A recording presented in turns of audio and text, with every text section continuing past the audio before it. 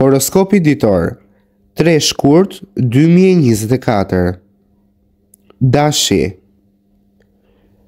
Një problem i mundshëm shëndetësor do të jetë shkaku i shqetësimit tuaj gjatë ditës së sotme. Duhet të kaloni një situatë të tillë sa më shpejt jetë e mundur, në mënyrë që të rrisni akoma dhe më shumë lumturinë. Dita e duhur për të komunikuar me miq të vjetër do të jetë pikërisht kjo e sotmja.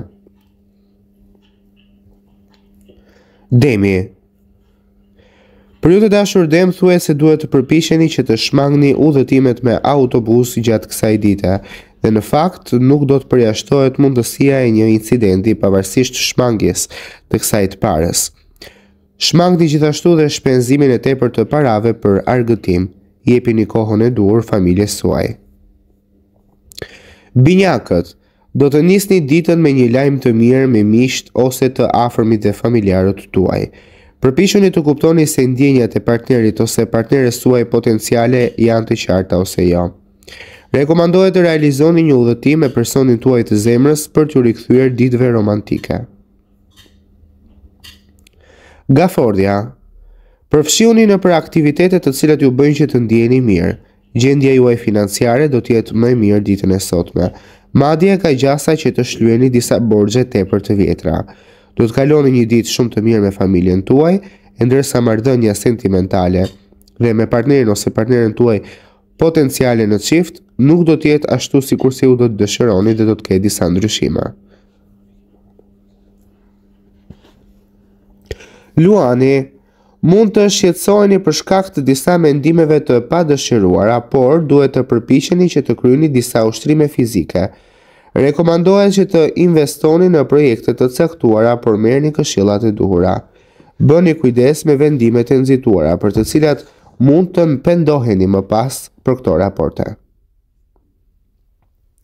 Virgjëresha, Mbështetja e personave me influencë do t'ju ndihmojë shumë. Shmangni investimet afatgjata.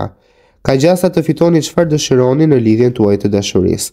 E rëndësishme është që të shikoni përpara dhe të keni objektiva të realizuara në lidhje me karrierën apo dhe familjen tuaj. Dhe do të vijojmë me peshoren. Shmangni ushqimin e tepërt dhe nisni të frekuentoni rregullisht një palestër. Falini partnerit ose partneres suaj romantike, më shumë dashuri për ta bërë ditën më të këndshme. Ka gjasa që ditën e sotme të gjeni një objektiv të vjetër, të cilin keni kohë që ju e kërkoni, por fatmirësisht do mund t'i realizoni të gjitha gjërat që ju mund t'i keni lënë pauzë. Akrepi, parashikohet të kaloni një ditë të mirë në botën tuaj profesionale, pra në punë, por duhet të bëni më shumë kujdes me fjalët tuaja.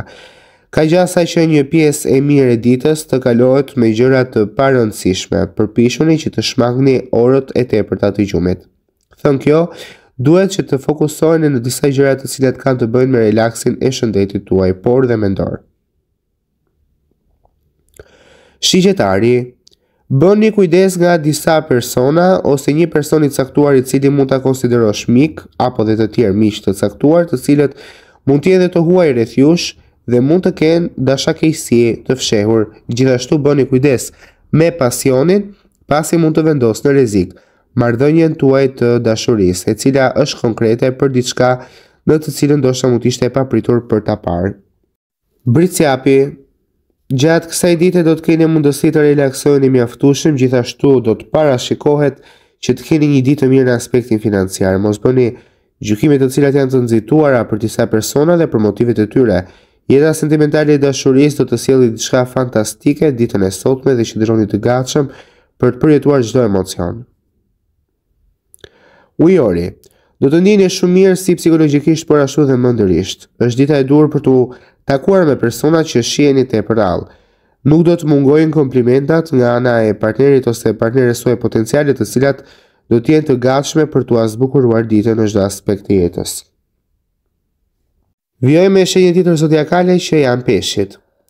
Përdoreni ashtu sikurse duhet besimin në vetvete, pavarësisht një dite shumë të lodhshme do t'jeni në gjendje që t'i mblidhni sërish të gjitha energjitë. Ka gjasa që të përjetoni probleme serioze me partnerin ose partneren tuaj potenciale.